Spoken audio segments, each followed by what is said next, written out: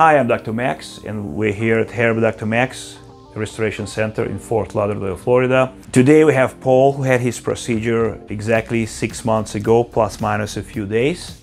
And he, he is here today for the follow-up for a scheduled PRP treatment and an SMP procedure also scheduled for you as well, right?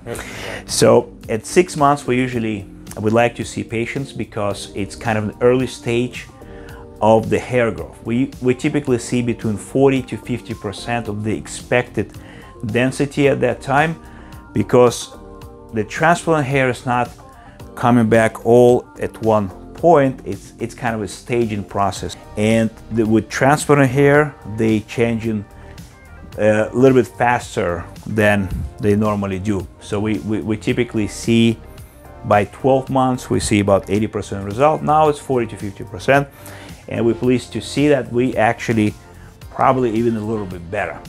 So just to give you a comparison, this is, we did a big procedure, 3,500 grafts, which involved uh, restoration of the anterior part here, as well as the crown area.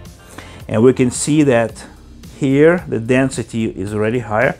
Actually, Paul had his haircut just what, yesterday? Two, two days ago. Two days ago. So it's actually shorter, but you can see the density, the gaps already closing nicely.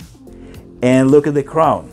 These areas are completely dark with even short hair. So by six months, it's definitely better than expected. And it's about 40 to 50% of the expected density. So how was your experience with us?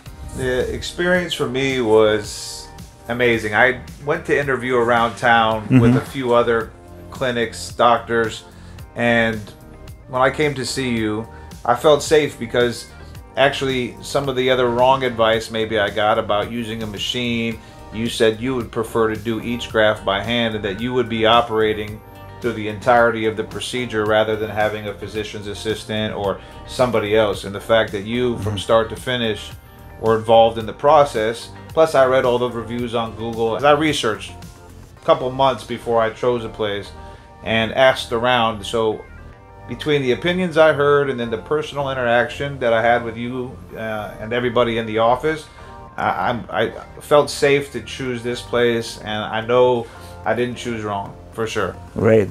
Thanks for the, such nice words. But in general, I think what we try and our mission is is to change the industry itself. We sort of pioneers in this sense. I think that physicians need to be involved with their hands-on more because basically when we have people who are uh, coming just uh, hourly paid right they don't see patients before and after okay? Right, right.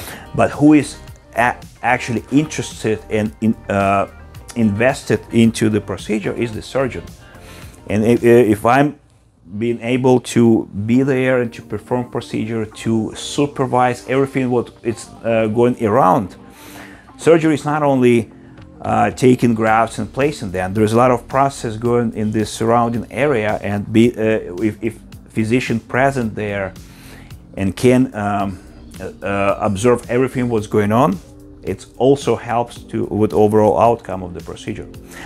So. Um, um, what do you think? Would you recommend?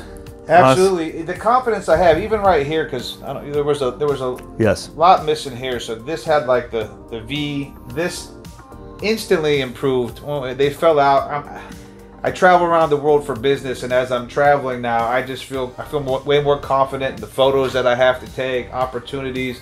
Um, extremely happy. So when asked if I would do a review or partake in an interview, they didn't have to convince me. It was a pleasure. I said, absolutely. I'd love to uh, let everybody know that come here. This is the place to be.